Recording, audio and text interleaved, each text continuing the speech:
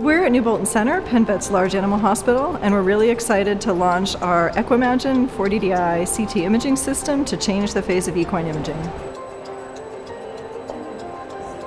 Well, there's a lot of aspects of equine biomechanics that we don't understand. Um, the limb in motion, there's a lot of forces that occur, and we, we, we don't know how that translates into the risk for injury, and this will allow us to assess that. The really thrilling part of this is that we hope to be able to get these three dimensional images in a horse that's standing.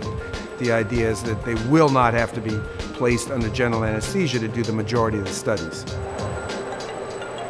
From a clinical standpoint, we will literally see things that we've never seen before. That we're not only going to find new specific abnormalities and new characterizations of those, but we also think that the opportunity that 3D imaging provides is precision. The ability of the resolution is much higher, and we'll be able to detect injuries hopefully at much earlier stages and prevent things that could be fatal either to the horse or honestly to the rider.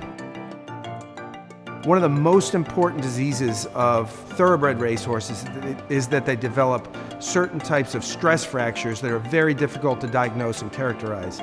This technology has the potential to, to diagnose those early, early enough that we can recognize them, manage them, and help prevent the horse from suffering a catastrophic breakdown on the racetrack.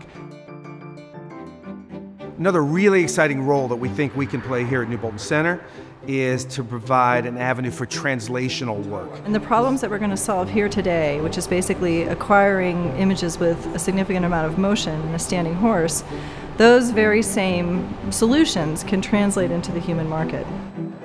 Instead of a child having to be anesthetized and having an, an, image performed of its head or its chest, they could sit there on their iPad and talk to their parents and have the image performed in 30 seconds. So that's one of the translational pieces that we hope to bring to Penn.